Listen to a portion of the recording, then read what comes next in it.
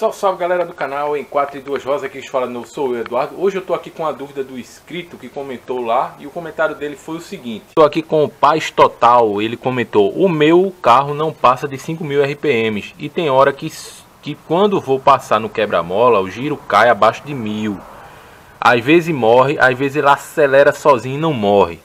Bom, eu já falei em um vídeo aí sobre carro não passa de 5.000 RPM. Eu vou deixar aqui do lado, onde você pode pegar algumas informações lá sobre o que eu falei. Né? Mas o seu carro tem uma coisa a mais, que é ele está morrendo, quando você chega no quebra-mola, pisa no freio, ele morre, ou às vezes ele acelera, né? Então, isso aí, às vezes, pode ser que tenha alguma entrada de ar falsa no teu carro. Principalmente quando está relacionada à desaceleração, quando você vai chegar num, numa lombada, né? Você vai pisar no freio. Quando você pisa no freio, o servo freio, quando você pisa lá no pedal de freio, lá tem uma haste que empurra um diafragma aqui, onde vem esse diafragma empurra o ar que está aqui dentro. Esse ar que está aqui dentro, ele vem por aqui, ó. Ele sai por essa mangueira e vai para o coletor de admissão. Aqui, ó, ela desce, faz uma dobra, sobe de novo, vem para o coletor de admissão. Esse ar é puxado pelo motor. O motor puxa ele, que aqui tem um vácuo, né? Tem um vácuo dos pistão que está puxando, é, pedindo a, a, a, misturar combustível, né? Então esse ar é queimado pro, dentro do motor, né? Dada aquele, aquela puxada do ar. O motor puxa esse ar para dentro para auxiliar lá na, na, no acionamento lá do cilindro mestre de freio. Isso deixa o pedal de freio leve. Aí, Eduardo, o que é que isso tem a ver com o carro estar tá morrendo? Geralmente algum problema no, hidro, no servofreio, o chamado servofreio, tem muita gente que chama hidrovácuo, mas o nome certo é servofreio. Algum problema no servofreio, ou o diafragma dele tiver rompido, ou alguma... Quando o diafragma se rompe, o pedal de freio fica duro, fica pesado. Eu acredito que não seja o seu caso. Mas se o pedal de freio ainda está normal, pode ser alguma entrada de ar pela mangueirinha aqui do aqui do hidrovácuo, né? Pode ser isso. E também pela falta, pela você falar, é, é, relatar também que o carro às vezes acelera, às vezes morre, às vezes acelera, pode ser também a mangueirinha tá com alguma rachadura e tá dando essa entrada de ar falsa.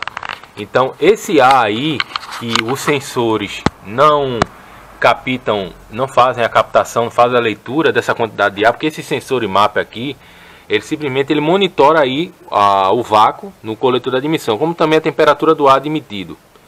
Mas se há uma massa de ar, se há uma entrada de ar maior e esse é, e o sensor está captando essa entrada de ar maior, o que é que pode ocorrer? Ele pode, sim, isso pode, pode, não estou dizendo que é, não estou dizendo que é o problema do seu carro, estou apenas te auxiliando aqui.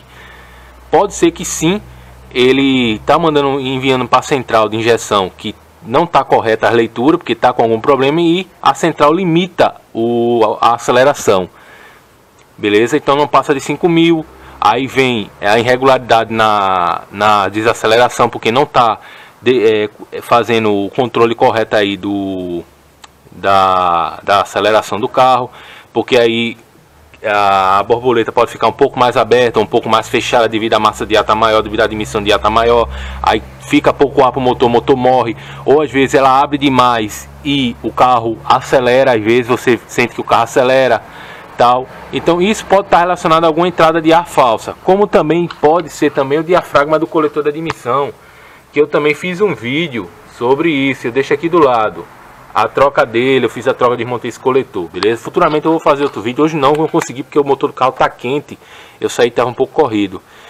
E essas, essas, é, esses probleminhas aí podem ocasionar isso. Para descobrir entrada de ar falsa, precisa assim de um descarbonizante ou num limpa-contato, onde você vai aplicar ó, assim, ó, pá, na, aqui na, no pé dos bicos injetores, aqui no pezinho aqui da, do coletor da admissão, ó, pá, aplica ele aqui, aqui do lado aqui também aqui na TBI, aplica um pouquinho aqui, tá, vai borrifando ele no embaixo, né, pessoal? Nunca aqui em cima, né? Aqui em cima não, é lá embaixo ali, ó.